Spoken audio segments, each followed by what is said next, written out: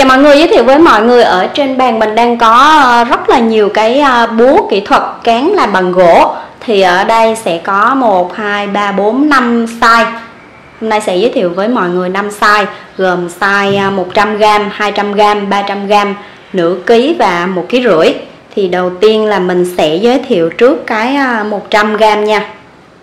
Rồi đây là búa kỹ thuật 100g là loại nhỏ nhất, size nhỏ nhất model của nó là 1665 trừ à, 100 100 là có nghĩa là 100 gram á. Mình sẽ đo xem kích thước của nó như thế nào.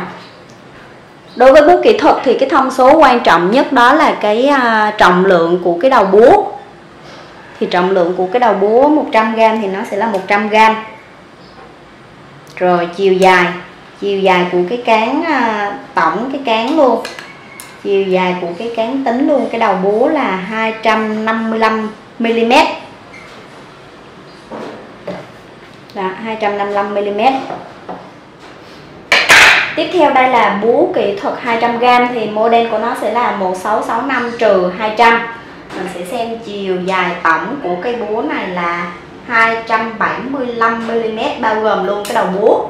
Mọi người để ở trên cái à, đầu búa nè hãng họ khắc laser luôn tên của hãng là Elora nè. Một đầu vuông và một đầu dẹt, ha. Cán làm bằng gỗ đã qua xử lý. Một ờ, phần này là họ không có sơn, còn cái phần chui nè, phần cuối của cái chui họ sơn màu đen. Thì trong quá trình chúng ta thao tác thì chúng ta sẽ cầm ngay cái phần màu đen này thì chúng ta ra lực nó sẽ đạt hiệu quả cao nhất. Đó. Hai model rồi ha. 100g 200g rồi cái bên này sẽ là 300g 300g thì model sẽ là 1665 trừ à, 300 Đó. rồi cái này là nửa ký thì model sẽ là 1665 trừ à, 500 và cái to nhất ở đây là một cái rưỡi. Đấy, một cái rưỡi sẽ là cái à, búa này ha.